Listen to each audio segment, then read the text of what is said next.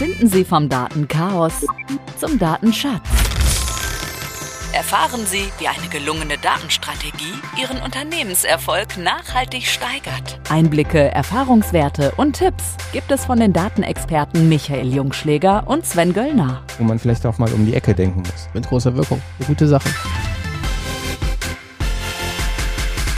Bereit zum Durchstarten? Wertgeschätzt, der Podcast.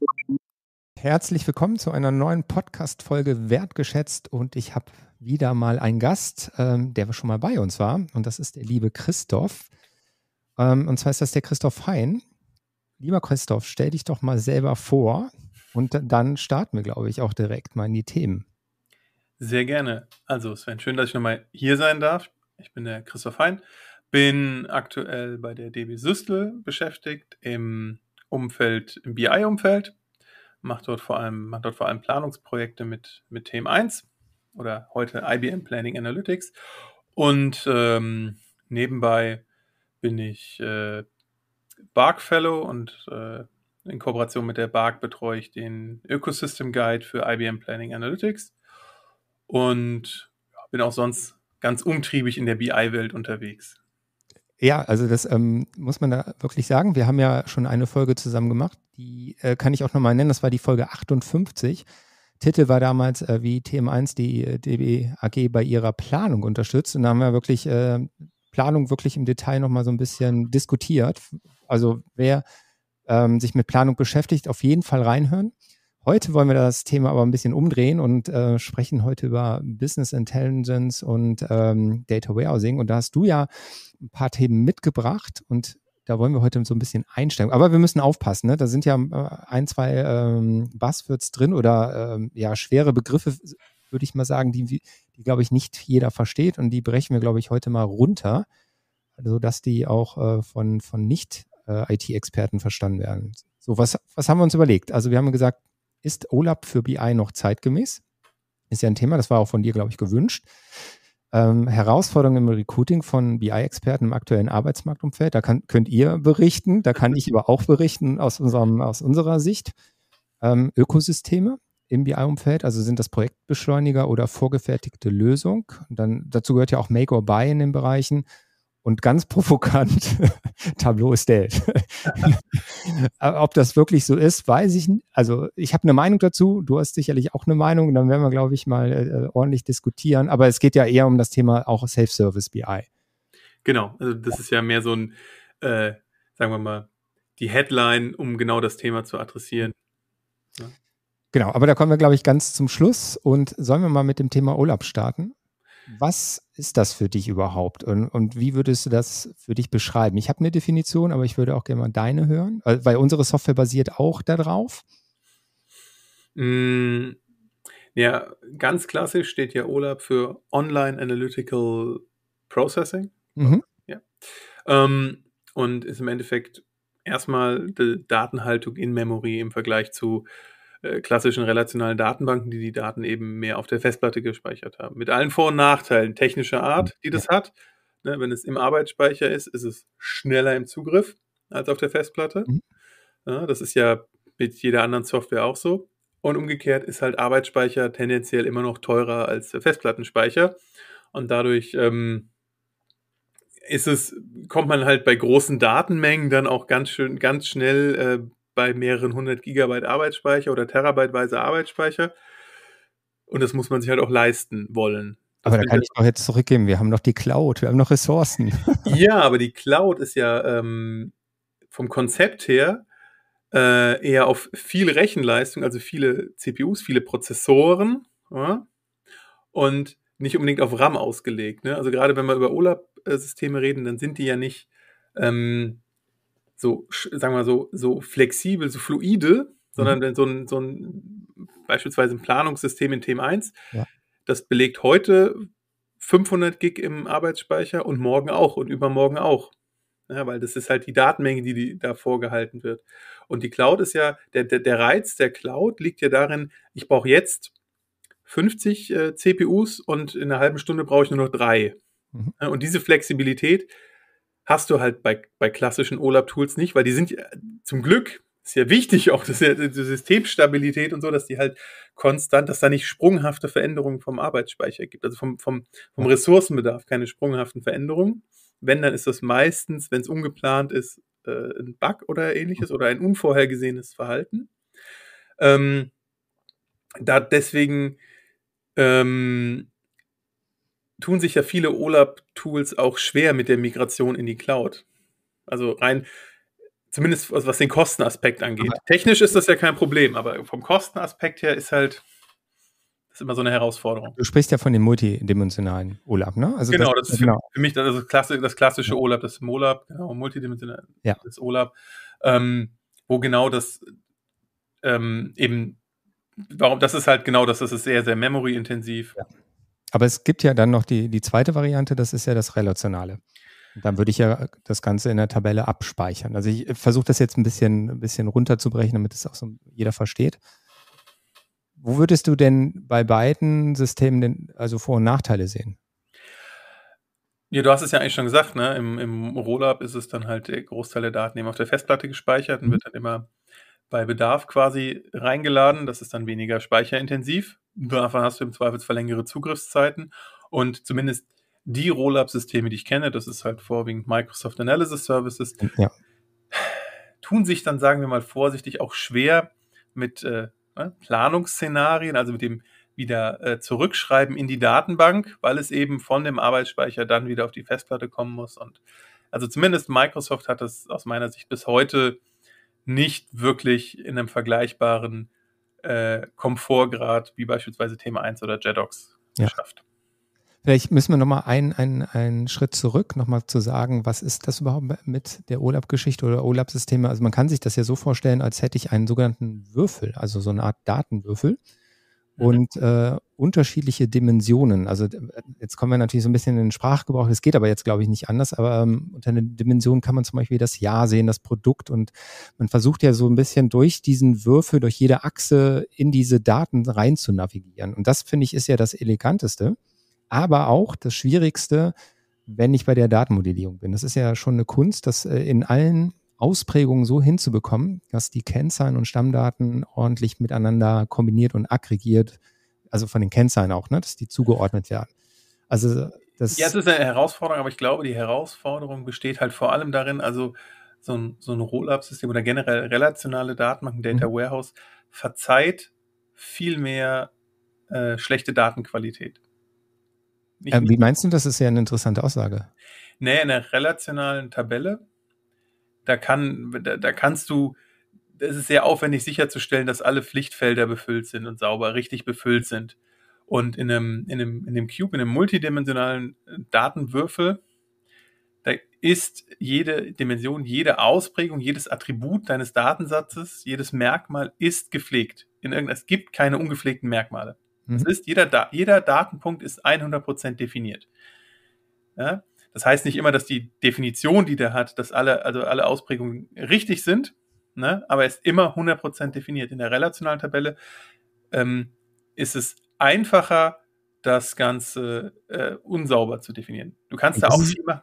Das ist ja die Gefahr, die man hat. Ne? Also wenn ich das nicht sauber mache, dann habe ich die Probleme später im Berichtswesen und es kann dann halt dazu führen, dass bestimmte Kennzahlen auf bestimmten Ebenen halt nicht richtig berechnet werden. Und man sieht, sieht es nicht. Das hatten wir so, so häufig in Projekten, dann wurde so hoch aggregiert auf eine Region und dieser Umsatz, der verdichtet worden ist, da haben einfach äh, Kennzahlen gefehlt oder die Berechnung einfach gefehlt und damit war es auch falsch.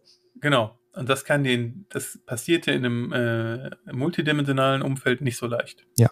ja. Wenn du deine Strukturen einmal sauber hast, ja, dann passen alle Datensätze auf die Struktur. Mhm wenn du die Struktur sauber modellierst. Es gibt, es ist unmöglich, dass die Datensätze nicht auf die Struktur passen. Das ist technisch einfach nicht möglich. Ja. Das ist, glaube ich, ähm, und dadurch ist die Herausforderung einfach die, dass du eben mehr Wert noch, also man sollte ja immer, also generell wird in allen Projekten zu wenig Wert auf Datenqualität gelegt, würde ich jetzt mal so als These raushauen.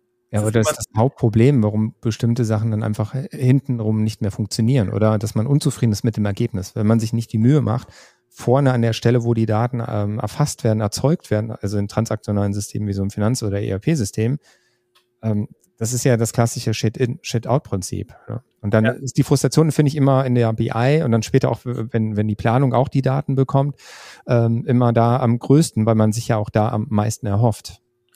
Äh, ganz genau. Und das ist ähm, auch zum Beispiel was, wo so ein klassisches OLAP-System sehr hilfreich ist, um eben auch sowas, also so ein Prozess der Daten, ähm, Datenqualitätsoptimierung zu unterstützen. Ja. Ich hatte gerade heute Vormittag äh, ein äh, Telefonat mit einem ehemaligen äh, äh, Kunden von einem großen deutschen Automobilhersteller, ne, die genau das nämlich äh, gemacht haben. Die haben TM1 genutzt, um im Personalcontrolling, um ihre ähm, Daten, die aus dem SAP-System kommen, haben gesagt, okay, wir nehmen die Daten, wie sie kommen und reichen sie durch und zeigen sie dadurch an und können so aufzeigen, wo eben äh, die Datenqualität nicht stimmt und dann muss das an der Quelle repariert werden. Ja, und haben die damals noch, als ich noch nicht bei der Bahn war, als Externer habe ich dort unterstützt, haben wir das 2017 gemeinsam angefangen es war heute sehr spannend zu sehen, jetzt sechs Jahre später, diese Früchte davon. Das war am Anfang war das auch sehr schmerzhaft, ne? weil dann wurde es ja immer beschwert, dass die Datenqualität im Berichtswesen nicht stimmt und dann immer, hat immer wieder darauf hingewiesen, ey, ist im Quellsystem, im SAP an der Stelle nicht sauber gepflegt muss korrigiert werden. Jetzt halt über sechs Jahre ist da wirklich eine enorm gute Datenqualität entstanden. Ne? Und das ist halt, das ist, glaube ich, das, was, was, was auch ein bisschen die Faszination für, für mich von OLAP, also von, oder gerade von diesem multidimensionalen ähm, eben ausmacht, dass du, wenn du es richtig einsetzt, dass einmal, einmal ein Werkzeug ist, das dir akut für deine Probleme hilft, im BI-Umfeld, für dein Reporting, für deine Planung, für deine Analysen. Aber wenn du das Ganze in einem Prozess entsprechend sauber aufsetzt, auch eine Rückkopplung in deine Vorsysteme haben kann und dort eben Perspektive über den Zeitraum einfach zu einer höheren Datenqualität führen kann. Na, und das ist, ähm, finde ich, fand ich heute Morgen wieder absolut faszinierend, das zu sehen. Wirklich wieder die Datenqualität über die Jahre einfach kontinuierlich besser geworden ist. Und das, genau, das ist wirklich ein sehr, sehr schönes Beispiel. Das zweite Beispiel, was, was ich mitgeben kann, wo ich sage, dass, also dann ist ja schon die Frage beantwortet, ist es noch zeitgemäß? Ja, definitiv. Also wenn wir später auch über, über Sachen wie Maschine und künstliche Intelligenz nachdenken, dann zeigt das ja, wenn wir uns ranhalten und äh, Ausdauer mitbringen, dann, dann steigern wir da durch solche Systeme halt auch nochmal die Datenqualität. Aber was ich auch in diesem Konzept genial finde, deswegen haben wir ja auch äh, das Konzept in unsere Software eingebaut, ist die Einfachheit später im Berichtswesen. Also ein Datenmodell zu, zur Verfügung st zu stellen in allen Ausprägungen, wo ich keinen mehr da ähm, später dran habe, der die Berichte baut, die Dashboards, ähm, der die ganzen Logiken verstehen muss. Ich weiß, ja, das ist, ähm, ähm, um das aufzubauen, das kostet, ähm, oder da braucht man halt schon ein bisschen Know-how für. Ich muss vielleicht auch mehr Zeit investieren, mhm. aber es lohnt sich auch hinten raus in der Berichtsentwicklung. Da spare ich nämlich Berichtsaufwände, auch in der, in der, in der Fehlersuche. Also ich, ja. ich hole mir da wirklich Geschwindigkeit rein und das war immer der Kampf, den ich in den Projekten damals auch mit, miterlebt habe, dass das keiner bezahlen wollte. Dann hat man gesagt, okay, dann schieben wir es doch ins Berichtswesen, dann sollen die Fachanwender doch selber damit klarkommen. Aber es, ich finde es falsch. Also deswegen finde ich dieses ja. Thema, was du ähm, genannt hast, oder äh, ist es noch zeitgemäß, echt eine, eigentlich eine schöne Komponente, ist aber was für Fortgeschrittene. Äh, ja, natürlich, aber das ist halt einfach, aber das liegt nicht unbedingt an der Technik. Es liegt vor allem halt auch daran, du musst dich dann halt mit diesen Problemen auseinandersetzen. Du musst dich halt dann damit auseinandersetzen, mit deinen Daten, was da drin steht und was da halt für ein Unsinn teilweise auch drin steht. Ne? Du, hast, du hast gesagt, KI und ähnliches, Machine Learning, die brauchen ja noch mehr eine saubere Datenqualität. Ne? Also, ich war ja letztens auch beim Kollegen äh, Christian Krug, ich glaube, da warst du auch schon mal zu Gast. Ne? Mhm, genau. Ja? Und wir haben eine Folge über das, genau über so ein Thema gemacht, über Data Footwork hat er es genannt, ja? um da mal kleinen ja. Cross, Cross-Selling zu betreiben. Nee, aber mhm. genau das ist das. Das ist einfach, daran merkt man, es ist immer wieder das Thema. Das ist die Grundlagenarbeit, das ist die Basis für alles. Und das ist eben auch das, was bei diesem, äh, diesem Gespräch heute Morgen wieder rauskam. Er sagt jetzt, die waren früher im Personalcontrolling fünf Leute, die sich nur um das Berichtswesen gekümmert haben. Ähm, das macht er inzwischen alleine. Er ist voll automatisiert. Ja. Er hat inzwischen, haben sie eine enorme Geschwindigkeit darauf bekommen, neue Anforderungen umzusetzen, weil eben die Basis stimmt, weil die ganzen Stammdaten sind sauber. Dann muss eine neue Kennzahl mit rein, so damit die aus dem SAP wird der entsprechende Infotyp abgezogen, wird die Kennzahl berechnet, die ganzen Stammdaten sind da, das wird gematcht, sei es, keine Ahnung, Personalnummer, Org-Einheit, Datum, ne, wird alles gematcht und zack, neue Kennzahl da. Ja, und das ist diese Geschwindigkeit, ne, das ist, wenn du, sagen wir mal, wir kommen ja zum Schluss nochmal dann äh, auf die Self-Service-Tools zurück, wo das dann der jeweilige Endanwender macht und dann baut er einen Bericht, dann ist er schneller. Wenn wir, sagen wir mal, die, nennen wir mal die, die Kuh beim Namen, Tableau beispielsweise, da bist du beim ersten Bericht immer schneller, als wenn du ein Microsoft Analysis Services, JEDOX, Thema 1 Projekt mhm. aufsetzt. Bist du beim ersten Bericht schneller, bist du beim zweiten Bericht schneller mit Tableau. Aber irgendwann, und das ist je nach Projekt und nach Datenqualität eben unterschiedlich, aber irgendwann kommt dieser Tipping Point, ja, da bist du mit diesen Systemen, mit, die eine eigene Datenhaltung haben, die ein sauberes äh, Datenmanagement voraussetzen, bist du irgendwann schneller. Und bei dem, wenn du dann wirklich von größeren Applikationen sprichst, und da, da sind wir, man ist ja schnell in so einer BI-Lösung auch mal bei 500 Berichten in einem größeren Unternehmen, weil es einfach so viele Themen gibt. Ja. ja? Ne? Und da hast du einen enormen Skaleneffekt, weil bei Self-Service musst du immer davon ausgehen, musst du es im Zweifelsfall selber, alles immer wieder selber korrigieren. Ja, ja und, und es gibt ja Kunden, also äh, auch aus unserem alten Beratungsgeschäft, da haben die 800 bis 1000 Berichte gehabt und da musst ja. du jedes Mal dran. Und das ist keinem, also das ist ja vielen am Anfang gar nicht bewusst. Du baust ja, ja über die Zeit auch eine gewisse Schatten-IT auf. Das will keiner hören, aber das ist so. Und das ist in dem Projekt erstmal nicht eingepreist. Ja. So, man ist schnell, genau wie du es gesagt hast, man ist sehr, sehr schnell fertig, aber die Probleme kommen dann im, im täglichen Doing, im, im, Betrieb auch, wenn der Fachbereich damit arbeitet. Und dann fällt dir das irgendwann auf die Füße. Ja. Aber das am Anfang zu identifizieren. Und deswegen lass uns lieber, also wir wollten ja eigentlich als zweites Thema ähm, äh, das Recruiting ansprechen. Ich würde sagen, das machen wir mal zum Schluss, weil das mhm. passt nämlich ganz gut. Äh, der Übergang dann, die Ökosysteme. Weil dann ist ja die, genau die, auch die Fragestellung, wie, wie komme ich denn dahin? Also fange ich denn an und ähm, programmiere das runter? Also da würde ich gleich gerne mal berichten, was so gerade so aus dem Netzwerk gerade passiert, wo ich nur noch den Kopf schüttel, aber da möchte ich auch gerne mal hören, ähm, wie du das auch siehst. Also dann schieben wir doch einfach mal das Recruiting zum Schluss und starten tatsächlich. Es gibt ja ähm, entsprechende Software-Systeme. Also wir haben einmal fertige Lösungen, die haben was Fertiges, aber es gibt ja auch am Markt ähm, zum Beispiel die, die äh, gängigen Cloud-Plattformen mhm. wie, wie eine Microsoft, eine Amazon. Und ich könnte mir ja da meine Datenbewirtschaftungsprozesse manuell aufbauen. Da gibt es entsprechende Komponenten, die ich zusammenstelle. Oder, äh, was ja auch ganz hip ist bei einigen, die fangen jetzt an und programmieren die ganzen Strecken, Datenstrecken runter, zum Beispiel in Python. Das erleben wir auch. Wie ist dein, deine Meinung dazu? Ähm, ja, da schlagen so zwei Herzen in meiner Brust. ja. Ähm, das ist auch immer, die Diskussion führen wir uns zum Beispiel im Team auch immer sehr äh, intensiv. Die Standardisierung und versus die Individualisierung. Das ist, und ich, ich, kann, ich kann von beiden Seiten die Argumente quasi verstehen. Ja? Ähm, und ja, das ist, ich sag mal, es ist eine Einzelfallabwägung. Es kommt immer an den Punkt, du kommst an den, also gerade wenn du äh, sehr große Projekte hast, ähm, wo, wo es einfach auf Nuancen teilweise ankommt. Ne? Also gerade wenn wir zum Beispiel auch über ähm, Performance-Themen reden oder sowas, ja, ähm, kommst du halt, also am performantesten ist immer noch alles selber zu programmieren. Also von der reinen Laufzeit für so, für so ETL-Prozesse beispielsweise oder alles, ne? Also Deployment-Prozesse, alles, was du komplett individualisierst, da kannst du natürlich, kannst du daraufhin optimieren. Hat aber, wie, ne, wie du vorhin auch gesagt hast, Schatten-IT oder generell ähm, einfach ein Overhead, der dadurch natürlich entsteht. Das muss ja alles maintained werden. Das ist immer so wie die, die berühmten äh, Frage im Projekt, wie, wie, wie sehr standardisierst du die äh, oder wie, wie sehr parametrisierbar machst du deine Ladeprozesse und ähnliches. Ne? Und das geht dann auch so weit, wenn du verschiedene Vorsysteme anbindest, anbindest ähm, wie, wie machst du die Anwendung? Setzt du da eben auf Standards? Setzt du da zum Beispiel auch auf, auf Templates oder ähnliches? Ähm, oder gehst du halt auf die Individualentwicklung? Es kommt ganz, und das ist einfach eine Einzelfallentscheidung. Also bei uns zum Beispiel im Team ist auch so, sind ja bei der Deutschen Bahn dann in diesem luxuriösen Umfeld, dass wir ähm, sehr viele Gesellschaften haben, sehr viele Kunden haben, sozusagen, die ähm,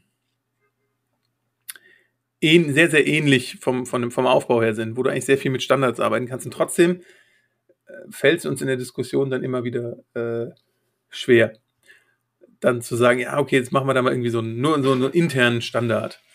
Und gleichzeitig ähm, mal so den Blick jetzt von außerhalb der Bahn drauf geworfen, ähm, da ist es halt für, gerade für kleinere, für mittelständische Unternehmen ist der, äh, ist der Vorteil, der sich durch die, durch die Individualisierung ergibt, ähm, meistens aufgrund der geringeren Komplexität, ne, der geringeren Datenvolumina, ähm, ist eben so eine Standardisierung da äh, meistens vielversprechender. Ne? Das ist wirklich, ähm, weil es einfach am Ende Kosten spart.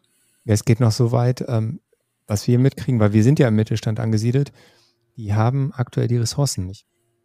Also haben wir ja gleich zum Schluss, ne? also Recruiting, genau das ist deren Problem. Die bekommen die zum Teil auch nicht, haben dann intern auch nicht die, das Know-how und wissen gar nicht, also die, denen fällt ja auch jetzt alles auf die Füße. Nachhaltigkeit, ähm, äh, Berichte werden, werden irgendwann jetzt auch äh, gemacht werden müssen. Kaufmännische Systeme, also das, was die Großen ja längst alles schon richtig machen, fangen jetzt auch die Mittelstände an, in diese Richtung zu denken und ihre Datenstrategie umzusetzen. Aber denen fehlt einfach die Zeit und die, denen fehlt die Ressourcen. Und dann ist, finde ich, der falsche Ansatz, ich fange jetzt an, selber alles zu programmieren, weil dann habe ich meistens ja. eine, eine Ressource dort sitzen. Und die Gefahr ist einfach, wenn die Ressource mal wegfällt oder kündigt, dann bleibt, also ich hatte tatsächlich am Freitag ein Gespräch äh, mit einem poten potenziellen Kunden und da ist es tatsächlich passiert. So zwei, zwei ITler oder zwei aus dem Softwarebereich, da wurde dann halt ein, ein, ein Data Warehouse entwickelt das wurde vom Dienstleister jetzt übergeben und die sitzen da und können es nicht betreiben oder es funktioniert nicht richtig. Und weil alles ja. manuell aufgebaut werden. Das ist natürlich kritisch. Ne? Und jetzt ist das ganze Thema verbrannt. Und die müssen, die müssen Daten aufbereiten, bereitstellen. Ähm, sie müssen nicht dem Ganzen stellen, aber es hat natürlich einen Stellenwert im, im ganzen Unternehmen nicht gut. Also da wieder aus dieser Nummer rauszukommen, wird nicht einfach werden. Ja, das ist, das ist ja nochmal so ein, finde ich, so ein ganz anderer Aspekt, den du da angesprochen hast. Wenn du jetzt, wo ich das jetzt verstanden habe, externer Dienstleister, der da was gemacht hat, mhm. eine Individualentwicklung gemacht hat, das ist ja genau. nochmal noch mal, ähm, schwieriger, weil da geht es ja auch darum, du bist dann, das ist dann dein Code als Unternehmen, ne, das da steht, was sie ja für dich gemacht haben, das ist dann dein Problem, wenn das nicht funktioniert erstmal. Ja?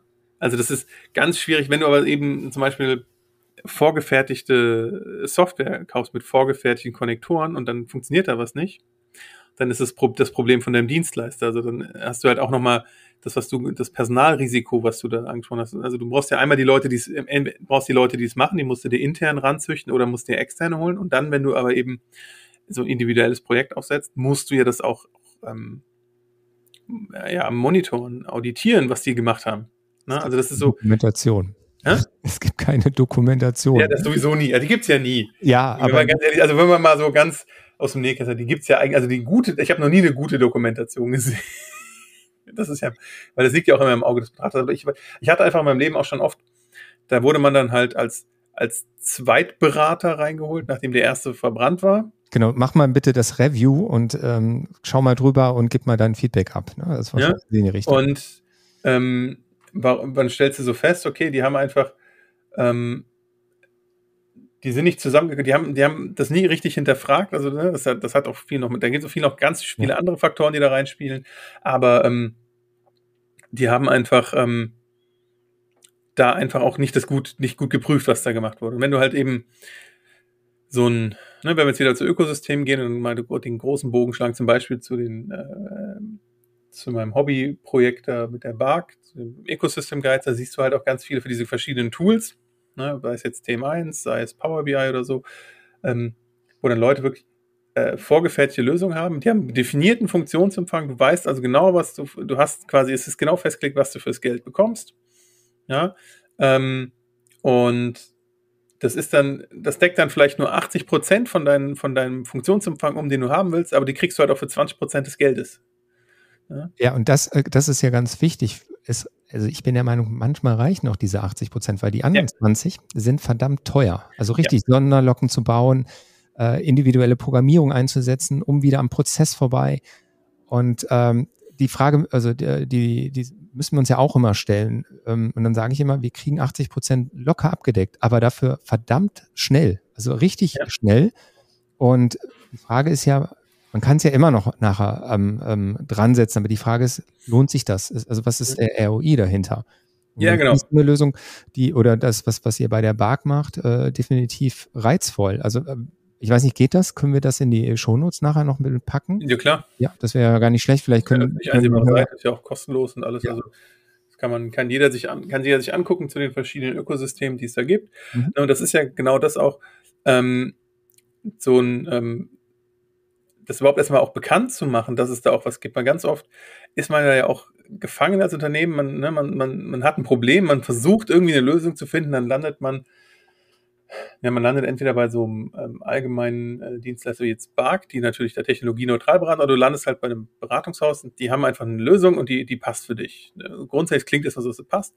Und da hast du halt die Möglichkeit, das auch mal zu hinterfragen zum Beispiel. Also gerade wenn du ähm, in, dich so in einem speziellen Ökosystem eben bewegst, also für eine gewisse Technologie, also eben auf Basis von Power BI oder von Click oder von ähm, äh, von IBM Planning Analytics Themen 1, ne, wenn du das eh schon in, dich in dem Ökosystem bewegst und einfach mal ähm, hinterfragen willst, was dir da jemand gerade angeboten hat, kannst du da zum Beispiel nachgucken und kannst eben sehen, okay, da gibt's ja noch andere Tools, frage ich die einfach mal an, erkundige mich da mal.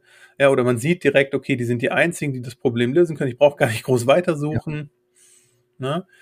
Ähm, und das, die, die Idee dahinter, hinter diesen ganzen ähm, Themen ist ja, ähm, die, den Funktionsumfang von einem bestehenden Tool einfach zu erweitern. Ne? Sei es eben durch, durch alternative Frontends im Thema 1 Umfeld beispielsweise oder um Funktionalitäten zu ergänzen, die man so in dem Standard-Tool eben vermisst, wie Planung mit Power BI. Ja, da gibt es dann eben Drittanbieterlösungen, die da eben was unterstützend machen können.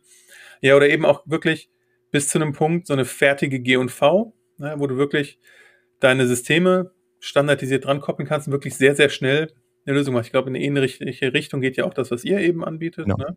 Also bei uns ist es eher, also wir bieten also die Datenintegration äh, sehr automatisiert an und damit kriegen wir viele, viele Fragestellungen schon gelöst. Und äh, genau, das ist auch der nächste Ansatz, den du gerade gesagt hast. Wir werden obendrauf immer weitere Schablonen bauen, wie zum Beispiel das Energiemanagement.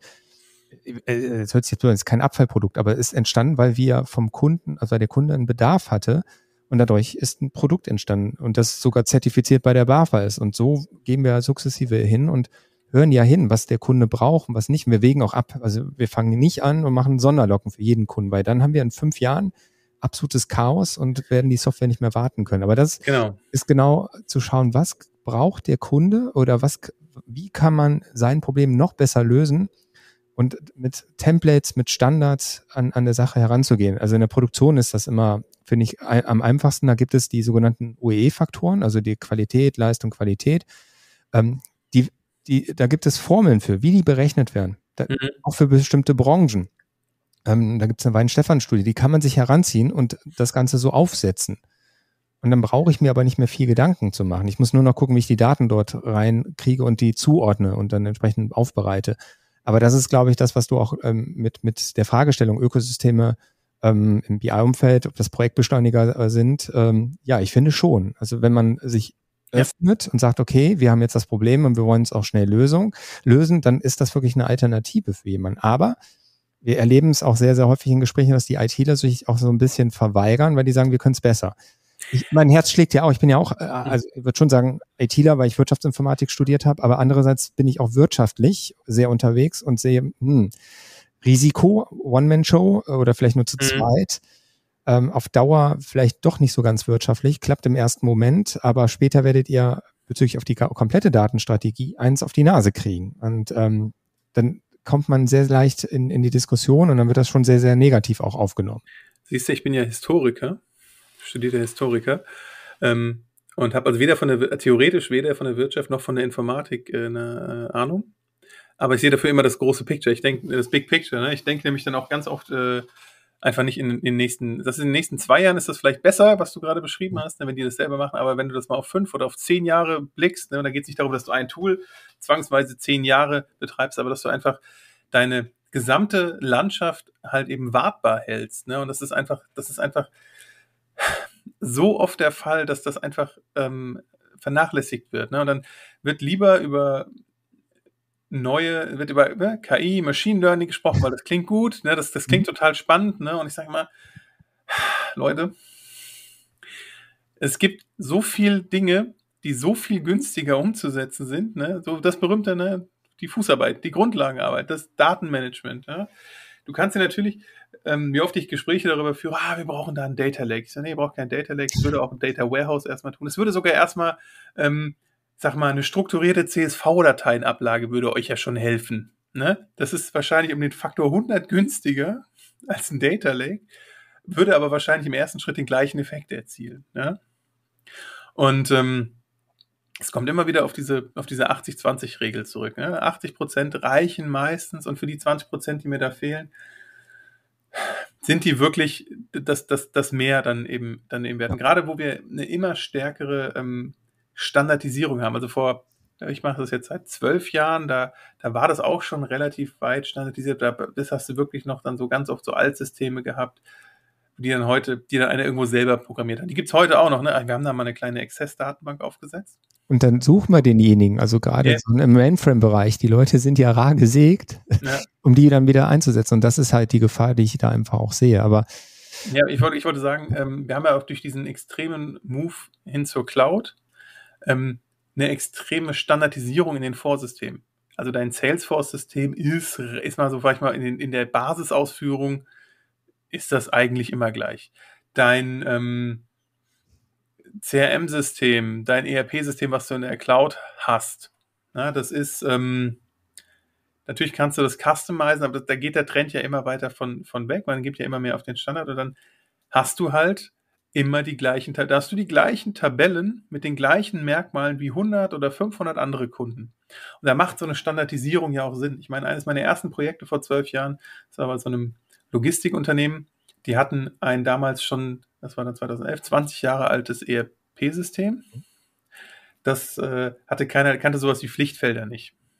Ja? Oder, oder Datentypen, es war alles Text. Ja? Also bei so einem System da kannst du selbst, wenn das, wenn du 500 Kunden mit diesem einen Stück Software hast, kannst du, musst du immer Individualentwicklung machen, weil wenn es keine Pflichtfelder gibt und nichts, dann ist das immer, dann ist das immer ein, ein, ein, äh, ein, ein Einhorn, also immer ein, äh, immer, äh, gibt es nur einmal dieses, dieses System. Bei jedem Kunden ist es anders. Na, aber heute sind die Systeme einfach so weit standardisiert, ne, gerade auch dadurch, dass die dann immer mehr der Trend Richtung API, ne, dass du die Daten über eine API abziehst, dann ist das halt alles standardisiert. Da kannst du nicht groß rumspielen. Da gibt es nicht so viel Freiraum für Customizing und dadurch bekommt dieser Push hin zu diesen Konnektoren, zu diesem Pre-Built Content, zu diesen Projektbeschleunigern, wie auch immer wir sie jetzt nennen, die verschiedenen Aspekte, eben einen ganz anderen, ähm, ganz anderen Mehrwert nochmal als vor 10, 20 Jahren. Ja, und dann habe ich das, dann bin ich ja in der Automatisierung. Dadurch ja. kriege ich die Geschwindigkeit. Ne? Das kann man ja als Fazit ja auch mitnehmen. Das ist tatsächlich die Projektbeschleunigung oder Umsetzungsbeschleunigung. Ja. Ich bin der Meinung, da muss man jetzt nicht mehr den ähm, Aufwand betreiben. Also dann lieber hinten rum, und das passt jetzt zum nächsten Thema, dann lieber den Aufwand betreiben und aus den Daten Mehrwert ziehen. Und jetzt bin ich, werden wir wahrscheinlich abgestraft von Tableau, aber ist egal. Wir sagen, also sagen Salesforce, Tableau ist, du meinst Salesforce. Ah, ja, äh, genau, also äh, Tableau wurde ja von Salesforce aufgekauft und also ich kann ja erstmal wiedergeben, wie, wie wir das empfinden. Also wir haben sehr, sehr wenig Kunden, die jetzt noch mit Tableau arbeiten. Wir haben jetzt wieder mit Tableau neue Verhandlungen durchgeführt wegen ähm, den Jahreslizenzen und wir haben einige Lizenzen jetzt abgekündigt. Also zeigt mir einfach, dass der Trend einfach da ist. Also kann man schon klipp und klar sagen, ich finde, der Trend geht Richtung Power BI. Also ist denn, ne, also würde ich, jetzt, würde ich jetzt auch mal so unterschreiben. Ne? Also das ist auch ein ganz klarer Richtung, die man da sieht. Also sieht man ja auch, ähm, Klick ist da für mich noch so ein bisschen äh, unklar, wie es da weitergeht. Ja, Im Gegensatz, Tableau wurde von Salesforce gekauft. Klick kauft ja selber wie verrückt. Wir haben jetzt erst Talent gekauft. Na, also das ist eigentlich ganz, Klick finde ich inzwischen wieder total spannend zu beobachten. Mhm. Na, weil einfach ähm, ganz andere Richtung, aber Tableau geht halt den Weg, den viele Tools gehen. Man wird irgendwann von einem Großen geschluckt und dann ähm, hast du halt das äh, Problem, das hatte beispielsweise auch Themen 1 über viele Jahre oder Cognos hat es heute noch. Ja, genau, das ist ja. das beste Beispiel, ja. Ähm, wobei da, da, das, das geht noch, weil die Tools sind nicht in anderen Tools von IBM aufgegangen, aber Tableau, meine Warum hat Salesforce Tableau gekauft? Ich vermute mal ganz stark, um eben hübschere Berichte, sag ich mal salopp, in, in Salesforce zu haben. Das heißt, das wird der Fokus sein. Ne? Das heißt, der Fokus ist erstmal Salesforce, mehr Salesforce-Lizenzen damit zu verkaufen. Ja. Ähm, worunter natürlich Tableau als Standalone-Software ganz normal. Das ist auch gar nicht, erstmal gar nicht schlimm. Das ist halt einfach der, der, das ist halt das Business. Ne? Das ist halt einfach ein Trend. Bei Tableau trifft jetzt halt ein, eigentlich ein sehr beliebtes, ein sehr prominentes Tool. Ne? Aber es geht halt ähm, da immer stärker, äh, der Fokus wird jetzt darauf liegen, die anderen Tools im Haus zu, zu unterstützen. Ja? Das sieht man auch bei anderen ähm, ähm, Tools, dem, die mir in dem Umfeld bekannt sind, keine Ahnung, der von, von äh, Cubeware zum Beispiel, ne, habe ich auch mal für gearbeitet vor vielen Jahren. Die sind jetzt auch aufgekauft worden von Inside Software, werden dadurch am Markt nicht mehr selbstständig agieren, werden da jetzt einfach mit ne, einem anderen strategischen Fokus haben. Ne, und so ist es bei Tableau auch. Ähm, aber, und was du ja auch, glaube ich, schon eingangs gesagt hattest, es ist halt auch ein Zeichen dafür, warum passiert das? Warum gibt es diese Konsolidierung äh, da an der Stelle? Das ist ja eine Konsolidierung. Klick konsolidiert eben in die andere Richtung. Sie kaufen andere Tools dazu. Tableau wurde gekauft. Power BI kauft keine. Ja, die machen es geschickt, es wird eingeschleust durch die Office. Ja, genau, also, also Microsoft kauft keiner. Ja, das ja, ist halt, genau. Das ist, ähm, das ist schon immer das, der Vorteil gewesen, wenn du ein Microsoft-Produkt bist. Ne? Du, ähm, du wirst einfach, du hast immer einen Marktanteil, du kannst gar nicht äh, wegge, äh, wegge, zur Seite weggeschoben werden. Und Power BI, Microsoft macht es natürlich aber auch ganz, ganz aggressiv, aber auch geschickt. Ja, also das Tool ist halt im ersten Schritt kostenlos. Punkt. Ja, das, die Kosten kommen dann später, ja. Ähm, aber es ist erstmal grundsätzlich kostenlos. Ähm, und das musst du dir als Unternehmen auch A leisten können und B leisten wollen. Und ähm, sie vernetzen es natürlich sehr gut mit ihren, mit ihren anderen äh, Tools und hat, haben damit aber auch zum Beispiel ne, das, den vorhin schon erwähnten Microsoft Analysis Services sehr stark kannibalisiert in meinen Augen. Also den nehme ich als eigenständiges Produkt eigentlich. Nee, das ist still geworden. Und da wird man eh ein bisschen ähm, draufschauen müssen. Auch das Ganze, was jetzt mit Microsoft Fabric da passiert. Also das ist ja gerade auch wieder Bewegung. Das ist, das ist ja schon fast eine separate Folge. Aber ich glaube, wenn wir das jetzt anschneiden, dann kommen ja, wir. Ähm, Berichtswerkzeugen oder BI-Tools, das ist ja immer alle paar Jahre passiert das. Das ist dann ja. so eine Konsolidierung. Also SAP damals mit Business Object wird ja. auch immer weniger. Klar, jetzt ist die SAP Analytic Cloud, also die nehme ich noch wahr, auch aus dem Kundennetzwerk. Ja, oder auf jeden Fall, auch, aber auch sehr aggressives Marketing natürlich an der Stelle. Ja, und da ist zum Beispiel Planung dabei. Also, oder man kann Planung nochmal dazu nehmen, wenn man möchte. Wird, also, wird behauptet, ja. Ich habe es noch nicht gesehen, aber ähm. ist dabei. Wie gut, wie schlecht mal nicht bewertet, aber das hat dann wieder äh, wiederum einen Pluspunkt zu anderen vielleicht, ne, die ja. das nicht mit haben. Und ähm, ja, ich glaube, das, ich glaub, das, was du da gesagt hast, ist schon ein ganz wichtiger Punkt. Es gibt da wieder eine Konsolidierung. Ähm, das ist ein bisschen wie so eine Wellenbewegung. Ne? So, es war so ja. vor, es kam diese, es, es, es gab die große Konsolidierung, Business Objects, Cognos wurde von IBM gekauft. Ähm, was war noch? Was war noch irgendwas? Äh, Oracle hat, ähm, haben die gekauft? Essbase? Ja, Essbase. Ne? Ne, äh, weiß ich jetzt nicht. Ja, es gab auf jeden Fall vor 15 äh, Jahren gab es die große Konsolidierung, da haben die ganzen, wurden diese ganzen selbstständigen Anbieter gekauft, ne? so ist ja auch Thema 1 dann bei IBM gelandet. So, dann war das alles in großen Konzernen, dann, dann kamen auf einmal die jungen Wilden wieder mit Tableau, ne? weil dann hat man gemerkt, oh, es ist ja schon irgendwie aufwendig, ne? das muss irgendwie schneller gehen. Ne? So kam dann sowas wie Tableau, Power BI, Click um die Ecke, waren super erfolgreich. So, jetzt merken die Leute wieder, ah, jetzt haben wir da große Tableau-Berichtsumgebungen ja, und das ist ja schon irgendwie aufwendig, da 600 Berichte mit zu administrieren. Ja, wir brauchen doch wieder was anderes. Jetzt geht der Push wieder hin ja. zu solchen ähm, eher, eher ganzheitlichen Lösungen, ne, weil die merken halt, okay, jetzt haben wir hier total geile Berichte, aber planen können wir damit nicht. Ja, wir können nicht unsere, unseren kompletten Entscheidungsprozess damit abbilden. Ja, wir können zwar die Daten analysieren, jetzt müssen wir aber irgendwie eine Entscheidung treffen, jetzt müssen wir irgendwie planen ja. ne, und, das, und Maßnahmen ableiten, das können wir alles nicht darin abbilden. Jetzt geht das wieder in die Richtung, ja, ähm, wahrscheinlich haben wir dann in, in fünf Jahren sitzen wir wieder hier zusammen und dann gibt's wieder, es gibt, es gibt ja auch ganz spannende ähm, neue Player, ja, die es noch mal einfacher machen als in Tableau. Ja, aber die dann wiederum auch die Frage ist, wie weit die sich wieder ähm, ähm, wirklich behaupten können, weil ich glaube auch, wenn wir eins gelernt haben, also so Daten aus einem Data Lake, die, die analysierst du auch nicht mal eben schnell mit Tableau. Genau, also das, da wollte ich zum Schluss nämlich drauf ja. zurückkommen. Wir haben ja eben also ganz am Anfang das Thema OLAP-Systeme gehabt. Wenn ich das sauber habe, dann ist mir das Berichtswerkzeug letztendlich egal, weil dann kann ich es austauschen. Ja.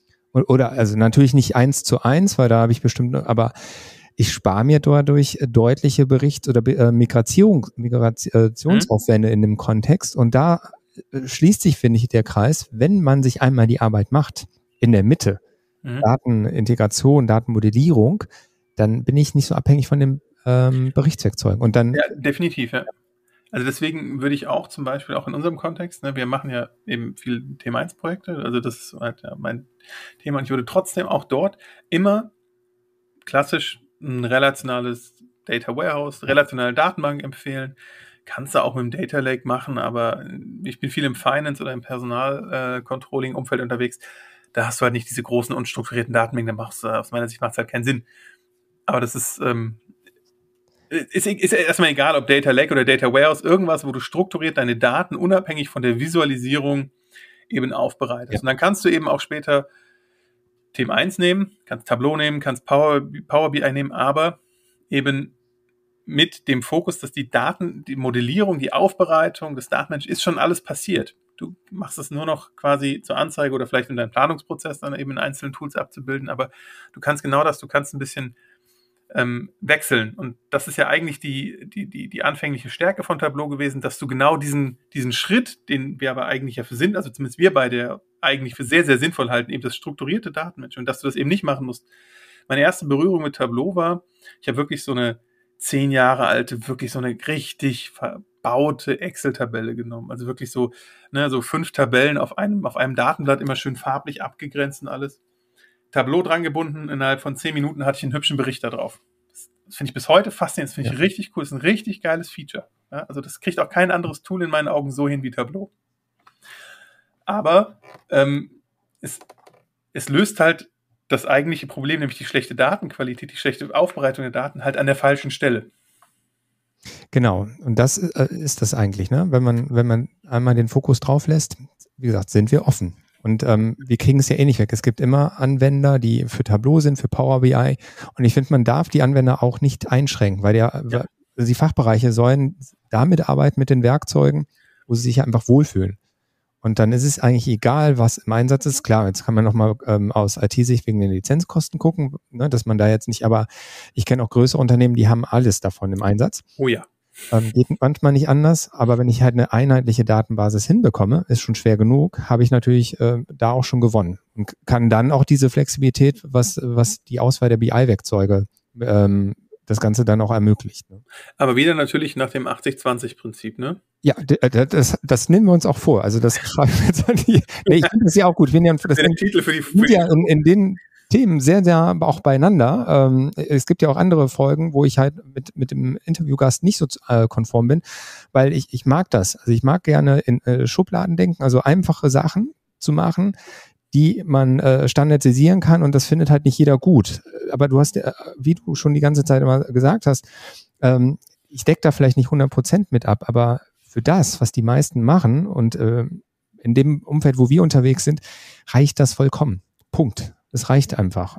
Und danach kann man immer noch weitermachen, wenn man möchte. Ne, nee genau, das, aber da bin ich ne, 80-20 in dem Umfeld dann zum Beispiel das beste Beispiel immer die unausgeglichenen Hierarchien. Es gibt die Tools, die können unausgeglichene Hierarchien, es gibt die Tools, die können es nicht. Ne? Und dann, wenn ich halt so ein Vorgehen, ne, 80-20-Prinzip, dann muss ich halt sagen, okay, der kleinste gemeinsame Nenner ist die ausgeglichene Hierarchie. Das heißt, es darf halt in meinem Vorsystem, in meinem Data Warehouse, in meinem Data Lake nur ausgeglichene Hierarchietabellen geben. Ne? Das ist dann halt mit allen Vor- und Nachteilen, die das hat. Mhm. Ne? Und das ist dann aber, das wäre so ein, für mich so ein schönes Beispiel für die 80-20-Regel. Da muss ich mich halt auf sowas dann auch committen. Muss ich sagen, okay, das, das sind die Einschränkungen, die ich mir selber auferlege, damit ich diese Flexibilität hinten heraus habe. Ne? Ähm, und wenn ich die, man kann sich auch dagegen entscheiden, sagen, ich brauche die 100, ich will die 100% Lösung, weiß aber dann entsprechend auch, es ist entsprechend teurer. Mhm. Genau, und das ist ja äh, eigentlich auch so ein bisschen das Fazit von, von diesen einzelnen Themen, die wir jetzt gerade ähm, behandelt haben, da ein bisschen den, den Fokus auch drauf zu machen und sich nicht in, in, in Details zu verlieren, weil also die Mittelstellen, mit denen wir zu tun haben, die haben einfach keine Zeit und aber auch kein Geld zu verlieren. Und die Zeiten sind vorbei, wo wir Langzeitprojekte gemacht haben mit sechs oder neun Monaten oder noch länger, wo man genau vielleicht sowas machen konnte. Ähm, ich finde, diese Zyklen sind auch einfach anders geworden. Also auch das, das Projektvorgehen hat sich ja durch verändert. Und ähm, ich finde, das, das kann man, glaube ich, äh, zum Schluss auch gut mitgeben, dass diese 80-20-Regelung wirklich ein, ein, ja, auch zum Projekterfolg auch, äh, auch maßgeblich äh, zum, ähm, daran teil, also jetzt verspreche ich mich hier ein paar Mal, aber dass, dass wir wirklich mit dieser 80-20-Regelung auch die Projekterfolge dadurch auch einholen können. Absolut. Ja. Ja, frei nach äh, wem wird Steve Jobs wird ja zugeschrieben, the perfect is the enemy of the good. Ja. ja. Also dieses Streben, es muss alles drin sein, es muss alles können, ne? die eierlegende Wollmilchsau. Ähm, ist immer der, der, der Feind des Projekterfolgs, ne? weil dann, dann verlierst du dich eben in, in Perfektionismus und ja. wirst nie fertig. Ne? Und da bin ich ganz bei dir. Die Projekte ähm, sind generell kleiner, schneller geworden. Es gibt immer noch die großen Projekte. Ja, definitiv. Und dann kommen wir eigentlich zum, zum letzten Thema. Ähm, ja, das Recruiting. Also, also das, diese ganzen Themen, die wir angesprochen haben, dafür brauchen wir Expertise, Experten. Was siehst du denn aktuell für Herausforderungen, auch jetzt bei euch bei der Bahn? Also seid ihr gut aufgestellt? Also ist, ähm, bekommt ihr die, die, Leute, die ihr auch braucht, oder ähm, habt ihr wie andere an, an, auch mit dem Fachkräftemangel zu kämpfen? Also ja, haben wir. Ähm, ganz klar, Fachkräftemangel. Und da wollte ich eigentlich gerade nochmal den, nämlich wunderschön den Bogen zu dem letzten Satz zurückschlagen, ja. weil eigentlich spricht der Fachkräftemangel ja dafür, größere Projekte zu machen, wo du die Leute nämlich besser ausbilden kannst, als die kleineren Projekte zu machen, weil für die kleineren Projekte brauchst du halt ähm, in der Regel dann ein, zwei Leute, die halt richtig gut sind und dieses mhm. Projekt dann entsprechend auch schnell durchziehen können. Ne? Und in großen Projekten kannst du halt auch Leute gut ausbilden, weil das ist nämlich dann die heraus. Also, aber grundsätzlich ähm, ist eben das Problem, dass die Projekte kleiner und schneller werden. Und dadurch mhm. ist es, ist es schwieriger, äh, neue Leute onzuboarden. Also wenn jemand neu anfängt und der dann eben ein Projekt von sechs Monaten, wo irgendwie dann er, die, er oder sie die zweite Person ist, ja. ähm, mit draufläuft, ist schwierig. Dann, ja, wenn, du nicht, wenn schon so viel, als wenn du Quereinsteiger bist. Ähm, und aber, ähm, um deine Frage zu beantworten, also natürlich, die Deutsche Bahn ist äh, wahrscheinlich in absoluten Zahlen mehr vom Fachkräftemangel gesprochen als betroffen als die meisten anderen Unternehmen, einfach aufgrund der Größe. Ja. Ähm, und umgekehrt hat die Deutsche Bahn natürlich äh, gewisse Probleme nicht, die kleinere Unternehmen haben. Also wir kriegen auch sehr viel, so, so zumindest meine Information, ich bin ja kein Recruiter, ähm, insgesamt sehr viele Bewerbungen, mhm. haben aber auch natürlich sehr viele Stellen offen. Und ähm, durch die Bekanntheit der Marke bekommt es natürlich auch sehr, sehr viele Bewerbungen, die nicht ganz so gut aufs Profil dann passen. Aber wir haben das Thema gerade bei der DB Systel mhm. massiv. Wir haben es bei uns im Thema 1-Umfeld auch. Ja, die Frage wirklich, ähm, wie findest du einerseits Leute, die dir schnell helfen, weil eben auch viele Projekte, kurze Projekte, ja, die wirklich intensiv, also sagen wir mal, nennen wir sie intensive Projekte, ähm, und gleichzeitig ja, muss eigentlich die Leute ja Zeit nehmen und die Leute ausbilden. Und das alles noch in, in einem, äh, wir hatten es im Vorgespräch, in einem Remote-Setting. Das ist schon eine Herausforderung, ne? Also. Ja, das ist eine Herausforderung für, für, für alle Unternehmen, egal wie groß oder klein. Ja, und umgekehrt kannst du das aber auch nicht alles dadurch heilen, dass du den Schritt zurückgehst, weil wenn du sagst, ja, äh, wir stellen ein, aber nur, wenn ihr dreimal die Woche ins Büro kommt oder fünfmal die Woche, dann kriegst du halt keine Bewerber. Also wenn ich bei uns ins Team gucke, ähm, wir haben jetzt in Frankfurt äh, alle zwei Wochen so ein, so Office-Tag, wo wir quasi einen freiwilligen Office-Tag, wo dann die kommen, die gerade Zeit haben. Und von denen, die äh, theoretisch Frankfurt zugeordnet sind, da kommt, sagen wir mal, nicht mal die Hälfte regelmäßig, weil es halt auch einfach ja, also eine, eine unendliche Anzahl von Gründen, aber es gibt da den Weg zurück ins äh, reine Präsenz. Den versuchen gerade viele Unternehmen, aber die, die, es versuchen, werden auch die Quittung bekommen. Die Systel macht es bewusst nicht. Ne? Die Deutsche Bahn hat es ja bewusst auch nicht gemacht mit ihren Wo du willst Jobs zum Beispiel. Ge äh, geht da entsprechend ganz massiv in dieses Thema rein, die Leute da abzuholen, wo sie sind und nicht zu zwingen, in irgendein Büro zu kommen wie früher. Äh, damit du sie, damit du die Leute überhaupt bekommst, weil es sonst ja immer noch zusätzlich schwierig genug, die Leute zu finden.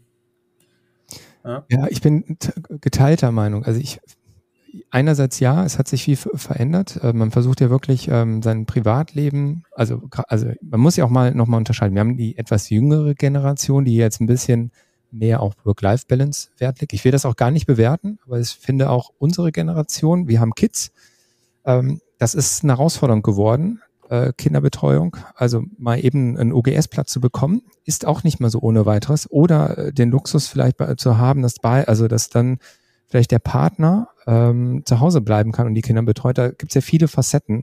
Und für die äh, Personengruppen, finde ich, macht es absolut Sinn und muss man auch berücksichtigen.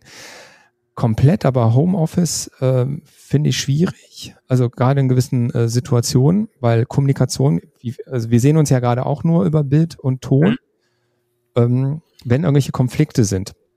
Ich kann kaum was lesen. Also ich, weißt du, was ich meine? Das ist einfacher, wenn ich mal hier reinkomme und äh, sehe schon jemanden am, am Schreibtisch sitzen, ähm, erkenne schon, ist da irgendwas.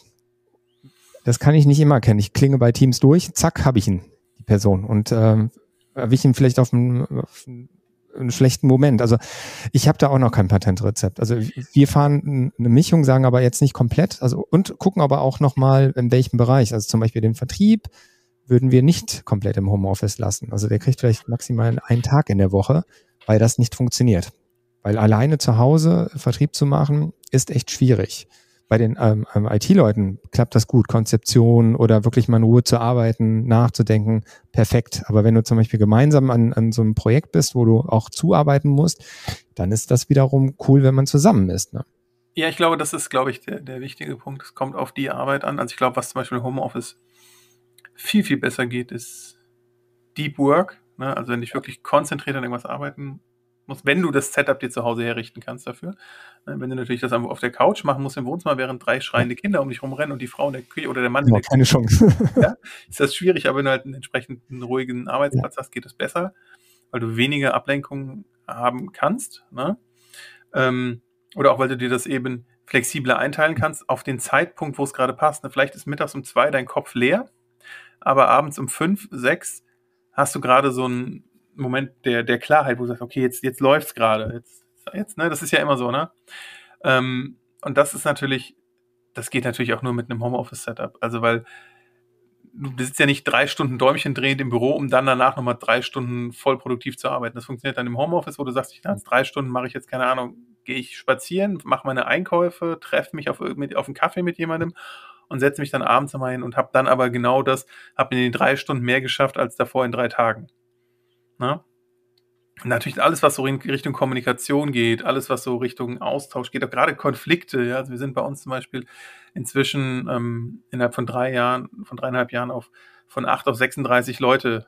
Ja, das ist ja eine Hausnummer, ne? Und die, die müssen sich kennenlernen. Also äh ja, das ist eine, das ist eine wirkliche Herausforderung, weil äh, umgekehrt selbst in Vor-Corona-Zeiten ähm, mal abgesehen davon, dass die ganz Deutschland sitzen, ist es schon schwierig genug, 36 Leute an einen Tisch zu bekommen. Also einfach, also in irgendeiner Form die überhaupt zusammenzubringen. Ja. Ne?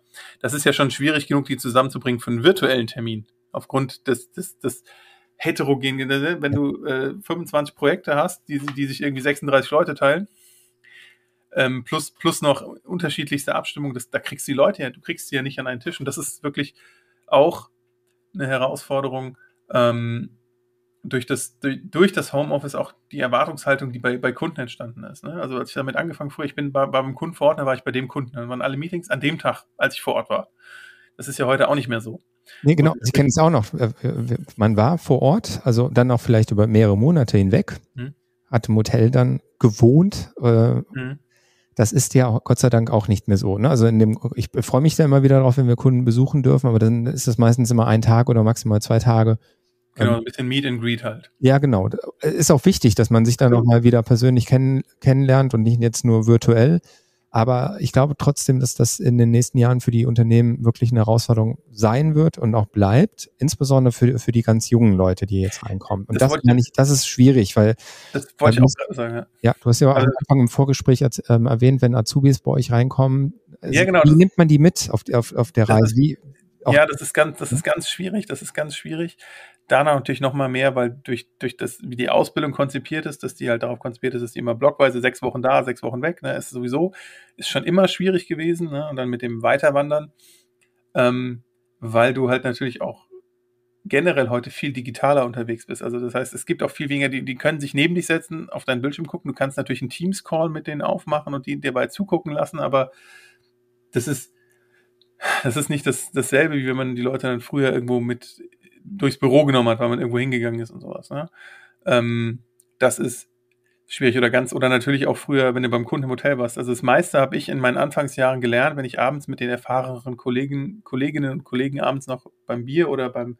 Ja, dann wurde aus dem Nähkästchen geplaudert ja, und Geschichten erzählt und ähm, auf der Basis hat man ja auch die Thematik viel, viel besser kennengelernt. Man hat es nochmal rekapituliert, was man so gemacht hat, so dass das ist ähm, heute, weil auch, aber auch wieder, da schließt sich der Kreis wieder mit den Projekten. Die Projekte sind halt viel kürzer gesagt, da ist viel weniger ähm, Raum, um, um sich die Zeit dafür zu nehmen, den Leuten nochmal was zu erklären. Ne? Weil auch wiederum das Ganze so extrem komprimiert ist. Ne? Früher warst du, du warst beim Kunden, da warst du acht, acht Stunden am Tag beim Kunden. So, da war zwischendrin irgendwie zwei Stunden ein bisschen Leerlauf. Da war zwei, Zeit zwischen zwei Meetings, da hat man ein bisschen was gemacht hat aber auch die Zeit gehabt, den Leuten was zu zeigen. Heute ist es ja so, wenn du zwei Stunden Leerlauf zwischendrin hast, musst du ja froh sein, wenn du nicht ein Meeting mit dem anderen Kunden hast. ja, das stimmt. Ne? Also das also, ist ja da auch, was, ähm, was wir am Anfang diskutiert haben. Du machst jetzt mehr, also Projekte gleichzeitig. Ja. So, und das gab es früher nicht. Vorher warst du ja. bei einem Kunden und hast beim Kunden deine Arbeit gemacht. Ja, es sei denn, wenn es mal völlig eskaliert ist, dann hast ja. du natürlich mal, aber das war die Ausnahme. Ja. Ähm, vielleicht mal die Frage zum Schluss. Was glaubst du für ähm, welche Qualifikation, also spezifischen Qualifikationen, Fähigkeiten sind denn jetzt genau in unserem Bereich gefragt? Also im Gegensatz zu früher. Was würdest du sagen, was, oder was müssen die Leute mitbringen? Das ist die große Frage, die ich mir immer wieder stelle. Ich habe ja vorhin gesagt, ich habe Geschichte studiert. Ich bin ja direkt von ja. nach dem Abschluss meines Studiums in diese BI-Sache so reingerutscht. Ne? Ich war jung und brauchte das Geld. Ja. Und so jemand wie mich würde ich heute eigentlich nicht einstellen. Aber ich würde gerne so jemand wie mich, also ich würde gerne so jemand wie mich einstellen, weil ich habe es ja irgendwie zumindest geschafft, mich durchzuwurschen ja. die letzten zehn Jahre. Aber das war nicht mein Studium. Also ich weiß nicht, was an meinem Lebenslauf, also wie, wie man rausfindet, ist das jetzt jemand, der das halt lernen kann? Oder nicht? Weil das ist, glaube ich, die entscheidende, das entscheidende Skill.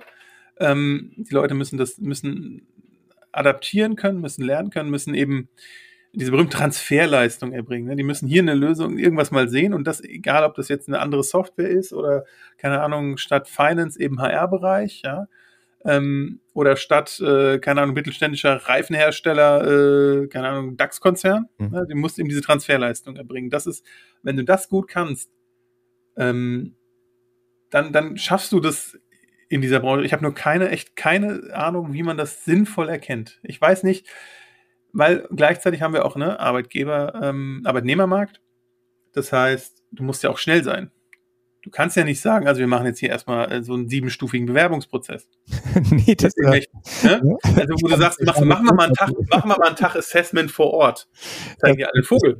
Nee, also ja? kann ich mal kurz eine, eine Anekdote. Wir sind ja gerade auch dabei, neue Mitarbeiter zu suchen in mehreren Bereichen und haben eine Agentur mit beauftragt und dann haben die einen, einen Funnel, also nennt man das, also äh, einen, einen Webseiten-Funnel, der so kom also nicht komplex, aber der äh, umfangreich war, also mit, mit vier Seiten und jede, jeden Tag hast du eine E-Mail gekriegt zur nächsten Seite und man sollte sich die Videos anschauen. Und ganz zum Schluss, am vierten Tag, hätte man dann anschließend einen Lebenslauf noch hochladen sollen und ein Video. Und wir haben so gemerkt, hey, das fühlt sich irgendwie nicht gut an, wer macht das denn? Also wir hatten einen Grund, warum wir gesagt haben, wir finden, also wir, wir setzen es um, weil wir bestimmte Leute nicht haben wollen. Aber zum Schluss, dieser Prozess und der Weg dorthin, das schreckt eher ab. Jetzt haben wir alles über den Haufen geschmissen, haben da locker schon einen halben Monat investiert an Arbeit, haben jetzt einen, einen, einen Webseitenbilder genommen, der rein auf Mobile ausgerichtet ist, komplett. Und schalten jetzt bei äh, Facebook und Instagram Werbung dafür aber du kannst dich quasi mit einem Daumen bewerben. Das heißt, wir haben so ein Quiz entwickelt, mhm. wo der wo der potenzielle Bewerber einfach durchklicken kann und wir haben so Entscheidungsbäume, aber so spielerisch, dass du innerhalb von zwei Minuten dich beworben hast. Ja, dann geht, das ist ja genau, da geht auch der Trend hin, ne? Und dann gibt's ja die, die, ne, also bei der Bahn ist inzwischen so, du musst dich, glaube ich, kannst dich, glaube ich, inzwischen sogar per WhatsApp, also per Chatbot kannst du dich auf jeden Fall bewerben, ja. Dann seid ihr noch schneller als wir, krass. Ja, also das, das ist dann auch wieder je nach Stelle unterschiedlich. Ne? Also für, für Ausbildung, glaube ich, kommst du wirklich mit ein paar, äh, mit fünf oder zehn Fragen, mhm. bist du durch, ne? Weil was willst du auch bei, bei Auszubildenden, wenn man mal jetzt gar nicht abwerten, aber einfach, was willst du da viel abfragen? Da ist halt no, der, der, der sind am Beginn des Berufslebens, ne? Da, da gibt's nicht so viel, was du, ähm, was du da als Filterkriterien rannehmen kannst. Wenn du jetzt natürlich irgendwie eine Senior-Stelle hast, da gibt's natürlich dann schon noch, dass du einen Lebenslauf hochladen musst, aber da gibt's auch wirklich, wie kann man die Klicks minimieren. Ähm, um, um, um das möglichst die Leute da schnell ranzuholen. Ja? Und ähm, wir versuchen das auch bei uns zum Beispiel mit Bewerben. Wir haben, äh, also anschreiben sowieso nicht. Ja? Also bewirbt sich bei uns. Ähm, ja, was machen die meisten? Ne? Schmeißen mal kurz ChatGPT an und sagen, schreib mir mal eben das Anschreiben. Das bringt ja auch nichts. Und, nee, aber die, nur, der, Lebens, der, Lebenslauf ist interessant, einfach mal grundsätzlich, mal damit man einfach aber gar nicht um die Leute daran groß. Also ich gehe davon aus, jeder, der sich bewirbt, hat grundsätzlich Interesse an dem Job ja. und hat auch gewisse Skills, aber einfach, dass man mal das ist wie so ein Gesprächsleitfaden, nehme ich sich das immer. Ne? So einfach mal ein bisschen was, wo, wo kann man mal die Leute, weil das, das Einzige, was wirklich hilft, sind Gespräche. Ne? Und dann machen wir das bei uns wirklich so, wir machen ein, Vorgespräch, das macht dann meistens ich oder ein, Kollege, wo wir einfach mal schnell die, die, die Rahmenbedingungen eben abklären, weil da einfach, ne, da gibt es einfach ja auch die Gehaltsspanne zum Beispiel ist ja bei uns inzwischen so groß in der BI-Branche, dass da äh, kommst du nicht so, so ein paar Rahmenbedingungen abklärt, was auch so ein paar Rahmenbedingungen, wie du bei uns in den Konzern reinkommst, dass das abgeklärt ist. Und dann machen wir möglichst zeitnah dass die Leute ein Feedback bekommen und dass sie dann wirklich nach wenigen Tagen ein, ein Erstgespräch haben, wo dann wirklich drei, vier Leute aus dem Team sich eine Stunde Zeit nehmen und der Person einfach sprechen, Fragen beantworten, Fragen stellen und wirklich versuchen, so sich einen Eindruck äh, zu verschaffen. Und dann sind wir eigentlich fast schon durch. Dann gibt es noch das Zweitgespräch mit HR und äh, wo dann eben nochmal das ganze Organisatorische abgeklopft wird, wo das Gehalt nochmal finalisiert wird und, und alles. Und das wirklich möglichst kurz zu halten. Ja. Und trotzdem springen auch da schon Leute ab, weil ihnen das zu lange dauert. Aha. Ja, aber das ist die Gefahr, finde ich, wenn man das ähm, so öffnet, auch wie wir das jetzt machen, dass du natürlich Bewerber reinspülst, die vielleicht gar keine Interessennummer ja. Also das kostet dann wiederum auch auf Unternehmensseite noch oh, mehr ja. Zeit. So, und das muss das man auch nochmal berücksichtigen. Klar, äh, ihr habt eine Personalabteilung, aber trotz auch die hat nur begrenzte Zeit und die müssen. Ja, bei uns, also das, das vielleicht auch bei uns, ähm, das wird ist sehr viel in den Teams auch, weil einfach ja. genau auch deswegen gesagt wird, was soll denn ein Personalerin, Personaler, was sollen die denn da groß vorfiltern? Die können sich den Lebenslauf angucken, der ist in der IT sowieso sehr viel Transferleistung, auch so, okay, der hat das gemacht, das könnte bedeuten, dass er das kann. Ja. Ähm, oder der hat das hingeschrieben, ne? bei uns im Fall, der hat dann, steht dann Cognos drin, äh, denkst du, liest den Lebenslauf, so, der meint eigentlich Thema 1. Ne? Also da geht, das geht sehr schnell an die Teams, aber wir hatten genau das Thema. Wir hatten ähm, mal eine Talentestelle ausgeschrieben, also für wirklich neue Leute und hatten die extrem offen gestaltet, weil wir einfach, dann hatten wir sehr, sehr viele Bewerbungen, aber eben auch sehr, sehr viele, wo es halt wirklich nicht gepasst hat. Weil, wo du von so den Lebenslauf gelesen hast, dachte, okay, hm, schwierig. Also du musst, es ist, es ist so ein Drahtseilakt, ne? du musst einerseits spezifisch genug sein, Ne, und andererseits offen genug. Und dann musst du irgendwie dann in, damit, die, damit du erstmal die Leute reinbekommst. Ne? Ähm, was ja bei unserem Umfeld mit BI sowieso schwierig genug ist, weil das ist ja so ein bisschen, hat immer so einen angestaubten Look, ist ja nicht KI dabei, ne? Ja, das stimmt. Ja, äh, ja, das stimmt auch wieder. Ne? Das ja. äh, ist dann auch nicht sexy genug, das ganze Thema. Ne? Ja, ja, äh, ist wirklich ja. so. Also das Problem hatten wir jetzt zum Beispiel mit Praktikanten schon sehr oft, die dann direkt von der, oder PraktikantInnen, die direkt von der, ähm, von der Uni kamen. Die wollten halt für ein Praktikum erstmal äh, KI machen, Machine Learning, Deep Learning. Ja, die wollen das, ja, ja, können denen das ja auch nicht verübeln. Das wird ja auch in den Medien gerade ge gepusht, das Thema. Ja. Und dass da unter der Haube genau unser Thema steckt, das ist halt wie. Das ist dann, was ich den Leuten auch immer im Gespräch dann erkläre. Ja. Das ist dann, wo ich immer sage, hier bei uns lernst du äh, gutes, solides Handwerkszeug, was dich genau darauf vorbereitet. Ja, Finde ich auch. Das ist, also das kann man, also kann man ja wirklich auch mitgeben, wenn jemand hört und, und sich in den Bereich äh, reinentwickeln will das ist eigentlich die Basis, also eine gute Ausgangsbasis, um später auch das KI-Thema zu bearbeiten. Das, das sagt man auch sehr, sehr häufig. Ja. Ähm, was wollte ich denn davor jetzt eigentlich sagen? Ich weiß es gar nicht mehr. Habe ich dich unterbrochen? Das war. ich weiß es auch nicht mehr. ähm, auf jeden Fall, ähm, also es ist genau, es ist ein Drahtseilakt, das wollte ich sagen. Es ist ein Drahtseilakt, ne? Also du, du musst irgendwie genug Leute reinbekommen, damit du eine Auswahl hast, damit du nicht jeden nehmen musst. Und gleichzeitig auch nicht zu viele, weil das auch wieder dich selber äh, einfach Zeit kostet und Ja, also wie gesagt, wir, wir starten jetzt auch in unserem Funnel. Ich bin auch sehr gespannt, äh, hoffen, aber was wir machen durch dieses Quiz, das ist dann eher etwas spielerisch, dass wir da ein bisschen vorqualifizieren. Ich glaube, die Idee klaue ich auch. Die finde ich gut.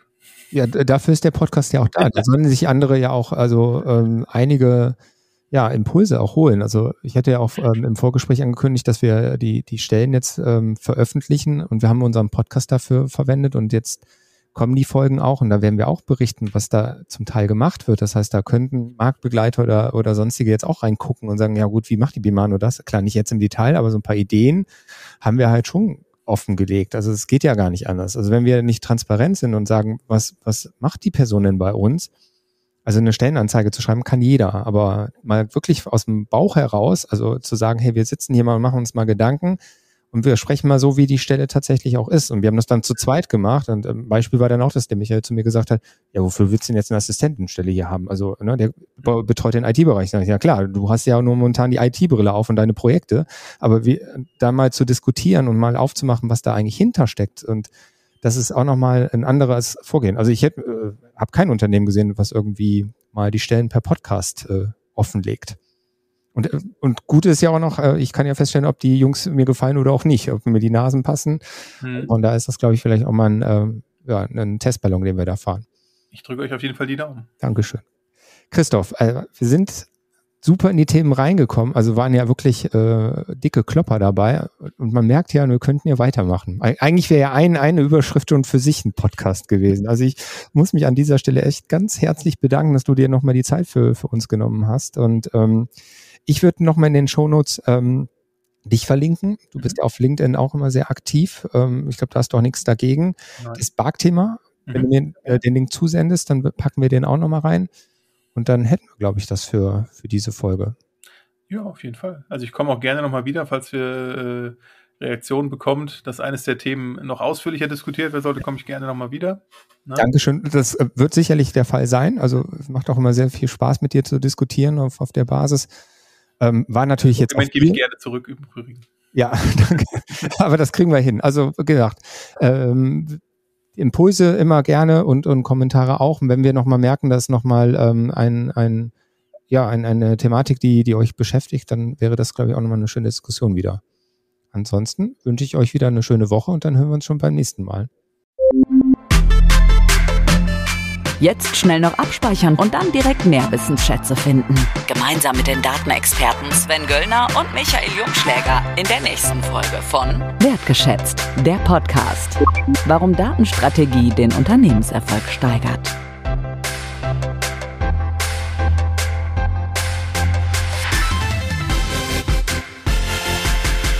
Mit einem Klick abonnieren und keine Folge mehr verpassen.